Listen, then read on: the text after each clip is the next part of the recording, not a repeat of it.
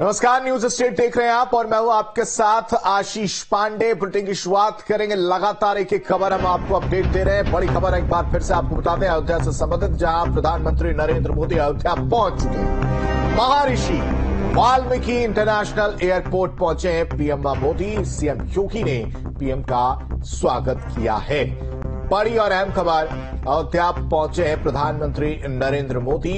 महर्षि Valmiki airport पहुंचे हैं PM Modi CM Yogi ने पीएम का स्वागत किया है तो इस वक्त की बड़ी खबर प्रधानमंत्री नरेंद्र मोदी महर्षि वाल्मीकि अंतर्राष्ट्रीय अयोध्या धाम और अयोध्या धाम रेलवे स्टेशन का इनोग्रेशन करेंगे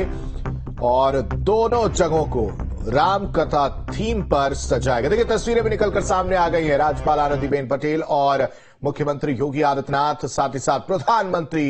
नरेंद्र मोदी आपको नजर आ रहे होंगे सीधी तस्वीर जो आप इस वक्त देख रहे हैं एक्सक्लूसिव तस्वीर वो महर्षि वाल्मीकि अंतर्राष्ट्रीय अयोध्या धाम एयरपोर्ट की तस्वीरें हैं जहां मुख्यमंत्री योगी आदित्यनाथ ने प्रधानमंत्री का स्वागत किया है पताका पहनाकर उनका स्वागत किया जोड़कर अभिवादन स्वीकार करते हुए प्रधानमंत्री नरेंद्र मोदी नजर आए और उनके साथ मौजूद हैं राज्यपाल आनंदी बेन पटेल और खबर पर ज्यादा जानकारी के साथ लगातार अपडेट दे रहे अविनाश हमारे साथ जुड़े हैं अविनाश का रुख करते हैं अविनाश तस्वीरें सामने आ गई हैं और प्रधानमंत्री नरेंद्र मोदी उस एयरपोर्ट पहुंच चुके हैं जहां जिस एयरपोर्ट का उनको उद्घाटन करना है कितनी देर में रामपथ होते हुए वो निकलते हुए नजर आएंगे